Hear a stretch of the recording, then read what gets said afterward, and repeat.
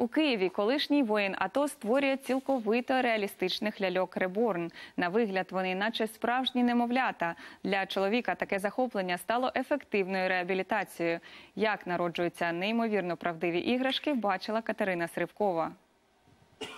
Рожеві щічки, ледь помітні судинки під шкірою та тонке дитяче волосся. Ляльок, які виготовляє Сергій Бондар, легко сплутати зі справжніми немовлятами. Такі майже живі іграшки називають ляльками Реборн. Буває таке, що в маршрутки місце вступають в, в метро. Буває таке, що з сумки достаєш заново, і так зі сторони дивляться на те.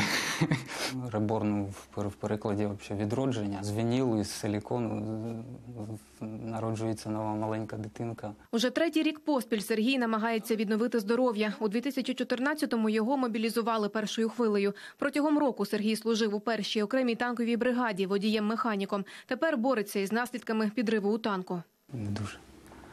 Хочеться згадувати те, що було. Контузія, черепно-мозгова, проблеми з серцем, з спиною.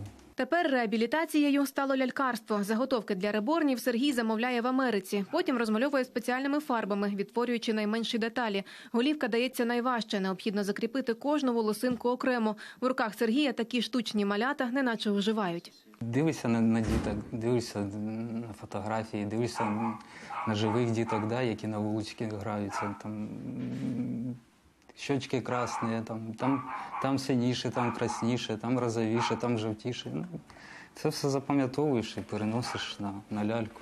Навчила магічного ремесла Варвара. Вона створює ляльки вже понад 15 років. Війна змінила і її долю. Жінці довелося тікати з рідного Донецька. Мне нужен был помощник для того, чтобы прошивать волосики, э, так как это очень сложно. Он быстро это схватил, у него стало получаться, причем очень хорошо получаться. И я решила учить его дальше. Реборнов ли- можно либо любить, либо они могут совершенно не нравиться, их бояться. То есть равнодушными они не оставляют никого. Таких ляльок не купують, а всиновлюють. У Сергія вже є шанувальники, і чоловік планує надалі вдосконалювати свою майстерність. Катерина Сирокова, Юрій Романюк. Новини телеканал Інтер.